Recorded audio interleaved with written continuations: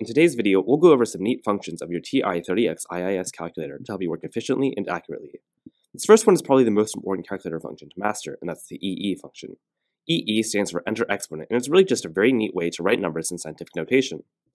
Let's say we want to express the number 20,000 in scientific notation. How would you write 20,000 in scientific notation? 20,000 is 2 times 10 to the fourth power, right? Now in a calculator, we could type out 2 multiplied by 10 to the power of 4, but that's a lot of typing for such a simple number. Without a amount of button pushing, you're bound to mistype at some point. If only there were some way to speed up the process. Behold, EE. The EE function inserts an imaginary times 10 to the power of blank. So, with our previous example, we could write 20,000 by doing the following. First, press the 2 key. Then, use EE by pressing second and then the button labeled x to the power of negative 1 with a small EE labeled above. Finally, press 4. Now note, the second button gives us access to all of the functions above the keys, such as EE above x to the power of negative 1, square root above x squared, or off above on. I know that sounds like a lot, but it's only 4 key presses compared to the 6 from earlier. That adds up. Now, something important to note is that when you do this on your calculator, only a single E will show up, which is fine. You don't have to press it twice to get an E, it's just what the button is called. Let's try this example. Which series of key presses most efficiently expresses the number 400,000 in scientific notation? Alright, nice. So 4E5 is just 4 times 10 to the power of 5, which is 400,000.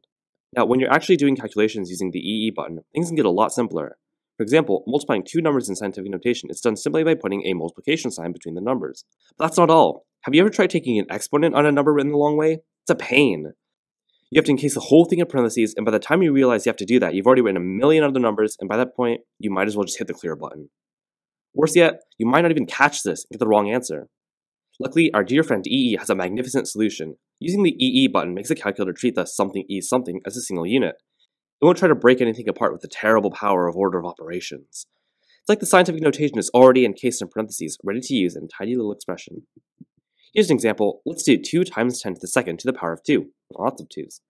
Now this should hopefully give us 40,000, right? Let's see if E stands up to the test. It does. Now, just for kicks, let's see what happens when we use the nasty times 10 to the expression and forget to add parentheses, which, by the way, is just wasted time. Well, would you look at that?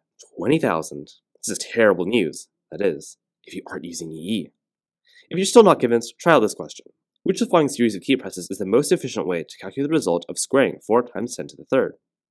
That's right. The first answer choice here is, of course, not using the EE function, which we've already established is a pretty bad idea. The second one puts down a multiplication sign instead of an exponent sign, which would just multiply the number by 2.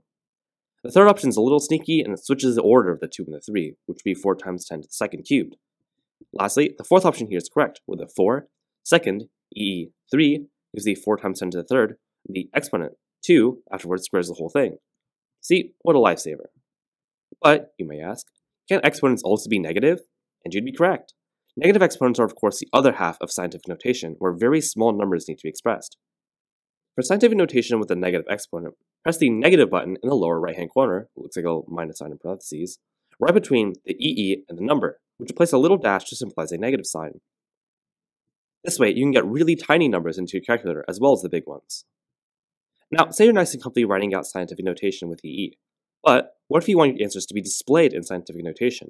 What if you want your answer to be 1 times 10 to the negative ninth, and not this number? Well, fear not. Our friends at Texas Instruments have thought of that too. The superstar button this time is the sci slash eng button, which is in the top row to the right of the blue second button. Unlike most functions, this one opens up a menu presenting three options, flow, sci, and eng. The first thing to know is that nobody has ever, in the 62-year-long history of electronic calculators, used eng. No one knows what it does, no one knows why it's there, and there are many people who even deny its very existence. The two players here are flow and sci. Flow is your standard something point something decimal display, a floating point number. Your calculator will probably be on this by default. The sci option, on the other hand, displays all of your answers in scientific notation. Pretty neat. And better yet, it uses actual scientific notation with the multiplication by a power of 10 and everything. This is pretty great. This whole something e something notation only exists in your calculator and in spreadsheet programs. And it should stay there. You don't want to give someone important like a professor an answer like something e something, because that's just nonsense. Anyway, once you're in the menu, you can use the left and right arrow buttons to select either flow or sci. Once your desired option is underlined, hit the equal or enter button to change your display mode.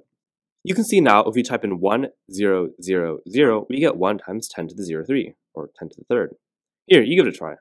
If the number 215,000 were displayed in sci mode on a TI-30X calculator, your calculator, what would the readout say?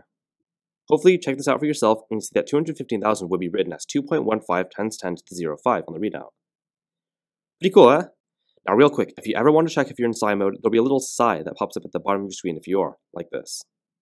Together, these two functions are going to make your time with your TI-30X calculator a lot more pleasant. Remember, you can always jump back to specific parts of the video if you need a quick refresher in the future. See you later!